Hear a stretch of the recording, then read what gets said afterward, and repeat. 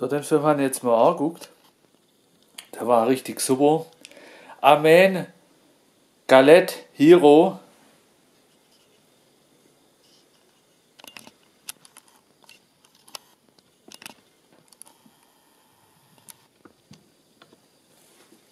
Ja, liebe Freunde, ein Feuerwerk der Action der Hölle und super Movie, ja. Und Regisseur war Wei Jung Biao war der Hauptdarsteller. Anthony Wong hat mitgespielt, Ken Lo, Nicolas C. Fanny's Ning hat mitgespielt, ja. Also wirklich die, die, äh, die Stars der Action-Szene, wie man so kennt, ja. Und ein klasse Film. Und wenn wir jetzt gleich draufgegangen auf den Movie, ja.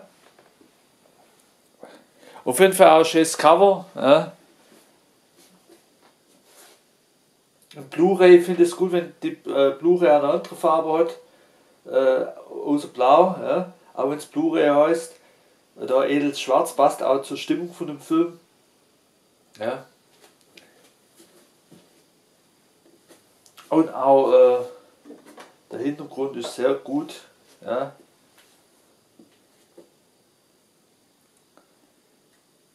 Einfach ein klasse Film. Spoiler an der Stelle. Ja.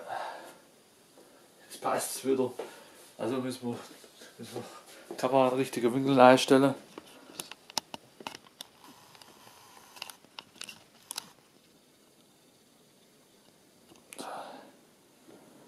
So, Freunde, euer Kung Fu Lieferung ist online. Niemals aufgeben, niemals kapitulieren. Ja, ähm, ja wenn den Turm da wegbauen, wird schon wieder kleiner, finde ich gut, das motiviert.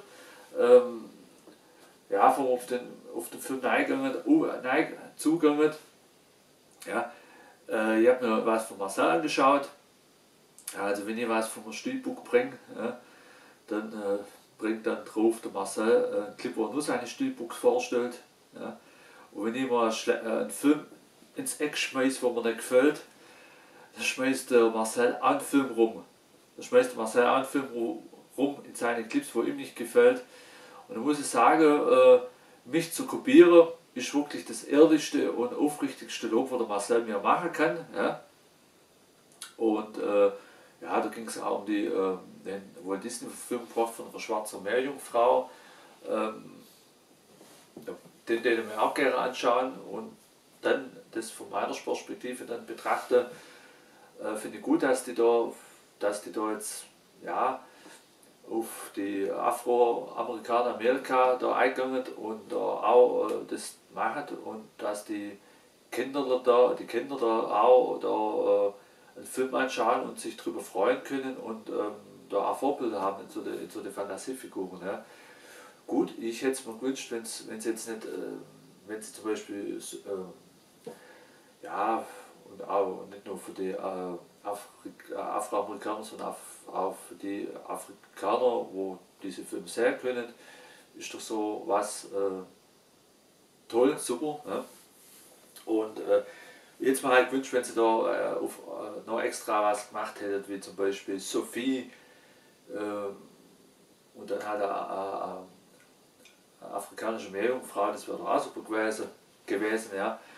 Aber äh, warum nicht? Ja, neue Idee. Kann den Film noch nicht beurteilen, haben noch nicht gesehen. Äh, Walt Disney möchte immer gute Filme bin auch gespannt, ich finde in dem Punkt äh, politische Korrektnis, Korrektheit sehr gut. Ähm, und äh, kann man ja machen. Also gute Idee. Äh, Marcel hatte ja noch eine, eine Inspiration in den Rahmen geschmissen für Walt Disney. Eine chinesische ähm, Alice im Wunderland. Äh, super, ich hoffe, das wird dann von Walt Disney gedreht. Würde ich mir gleich anschauen. Ja, ähm, ja. Äh, also politische Korrektheit, äh, kommt darauf an, in was und ja und überhaupt, aber äh, dass man da versucht, äh, tolerant zu, äh, jede Kultur zu tolerieren will und auch äh, Walt Disney da was machen will, finde ich super. Ja. Äh, jetzt kommen wir auf den Film ein. Ja. Das ist ein Film, der würde auch bestimmt gefallen, lieber Marcel. Und äh, Jung Biao, der ist ja eine Legende. Ja. Der ist ja der Kung-Fu-Bruder von Jackie Chan. Äh, das war der Sammo Hung, Jackie Chan und Jung Biao, die in, als Kinder zusammen Kung Fu gelernt haben, ja, in der Oberping äh, High School in, in Hongkong. Und ähm, Sam Hung war eigentlich der erste, wo da bekannt geworden ist. Ja. Und dann Jackie Chan und, und, und, ähm, die, und dann Yuen Biao. Die haben, die haben zu dritt auch immer auch viele Filme gedreht, aber dann solo gute Filme gedreht und äh, die machen, alle drei machen natürlich ihre Stand selber. Ja.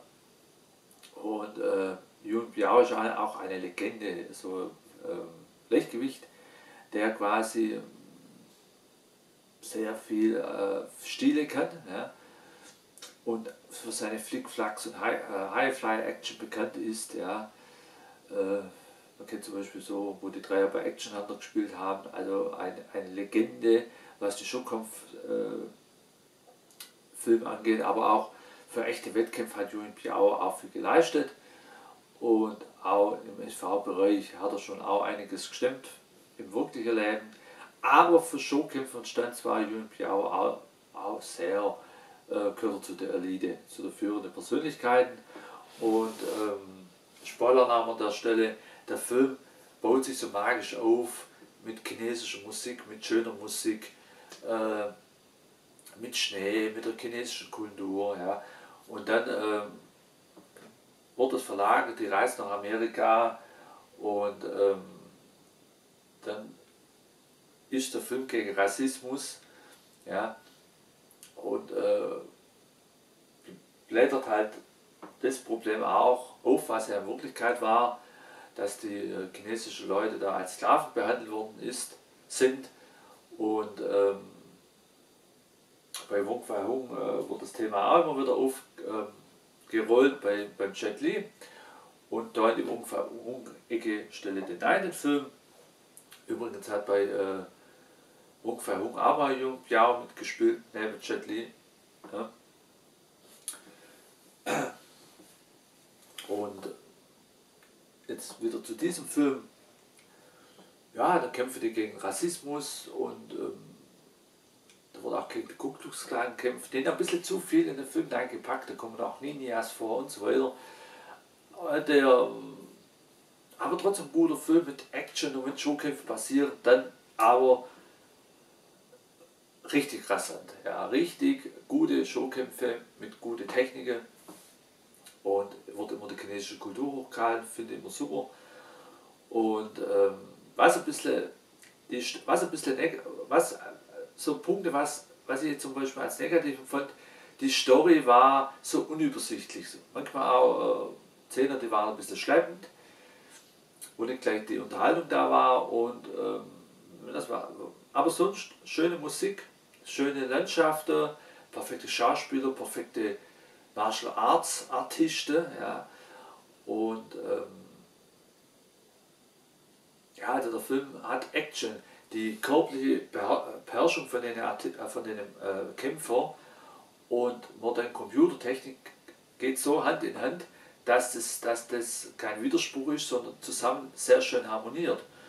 Und der Film ist wirklich ein Meisterwerk und äh, ja, in, in, in Hongkong machen sie ja wirklich klasse Filme. Ja.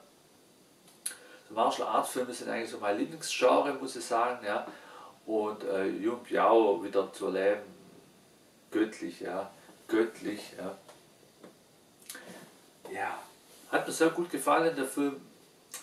Manche Szenen war so sehr, zu, also sehr traurig, wenn irgendjemand starb, zum Beispiel eine Frau, die dann schwanger war, hat sie Zwillinge geboren und, und dann starb sie an hohem Blutverlust. Das sehe ich nicht gerne, aber war halt in der Story drin. Also perfekte Schauspieler, perfekte Martial Arts Kämpfer, ja, perfekt wie sie die chinesische Kultur nach vorne bringen, ja, äh, perfekt wie sie gegen, Rassi gegen Rassismus kämpfen, ja, und ähm, perfekte Musik auch, ja, also und perfekte Computertechnik, wenn mal welche kamen, ja. Also der Film hat ein Herzchen verdient, ja. Ja. So, Leute. Äh, ja, ich habe dass ich mal so Punkte verteile, aber das möchte der Marcel und ich möchte Marcel nicht kopieren. Ja, ähm, ja. Ähm, ja ich finde es gut so zu einem anderen Thema, äh, dass hier der afrikanische Meerjungfrau hin, finde ich gut. Äh, dass auch die afrikanischen Leute geehrt werden und ähm, dass Walt Disney auch da Sparte aufmacht. Äh, finde ich ganz gute Idee, sowas. Ja. Äh, ach, Leute, Entschuldigung, jetzt hätte ich wieder losgemacht. Ja, ja, ja, ja, ja. Und tschüss. Tschüss. Akkuiererei. Entschuldigung, Freunde. So. Ja, äh, war finde ich gut. Äh, vielleicht gange die da auf die homosexuelle Schiene auch ein bisschen ein, weil ähm, äh, muss ja nicht anrüchig werden, weil wenn äh, kommt ja oft wohl diese Liebesszenen zwischen Mann und Frau und die sind auch nicht anrüchig, anrüchig sondern sind halt rührende Liebesgeschichten. Könnten vielleicht sie auch ja, zwei Frauen sich einander verlieben oder ja, oder zwei ja, Typen,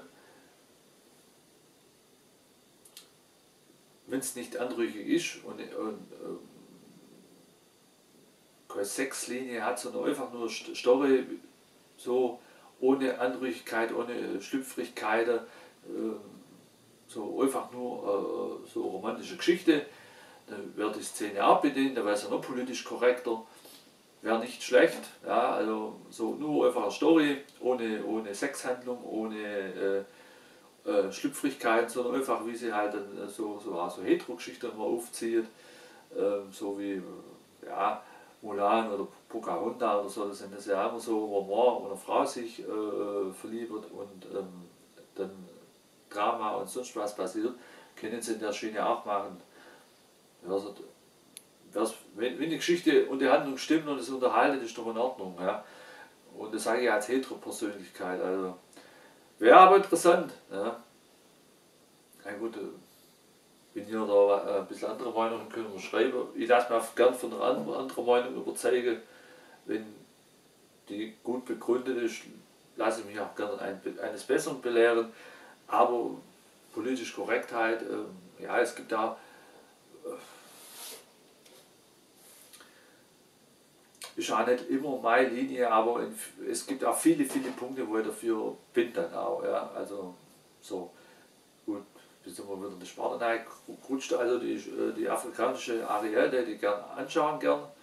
Äh, deswegen ist jetzt die, die alte Ariel nicht schlecht. Also man ja auf mehrere Ideen kommen. Ja.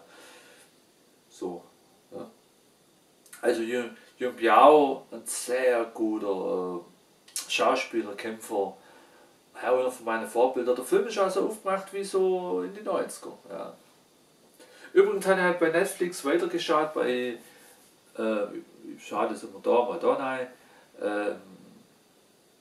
bei äh, Harry Danger und war sehr begeistert, als dann auch von den Thundermans die auch da drin vorkommen, sind die Thundermans in einer Extra-Serie. Und äh, ja, war gut, war gut, hat mir gefallen. Ich liebe Netflix. Ja, man kann ja trotzdem Filme sammeln. Und äh, Streamingdienst bereichert, die nehmen ja nichts weg. Und die Leute sind immer noch, also bei uns voll mit Filmen. Ja. In Drucker Rümmler, ich habe ja letztes Mal gesagt, da hat Drucker Rümmler noch Straße kennt mit Filmen. Und da habe ich den Clip drin auf dem Handy dort äh, Eustraße wieder aufgemacht. Und sonst hat Druckerei eine ganze Wand voll hier und die Körbe voll mit Filmen. Also da gibt es schon noch gute Läder, wo du als Filmsammler äh, Gold findest. Den habe ich beim Druckerei gekauft. Ja. So, jetzt wollen wir den Clip beenden. Ich wünsche euch Happy Halloween. Ja. Liebe Freunde, passt auf euch auf. Zeit sehen!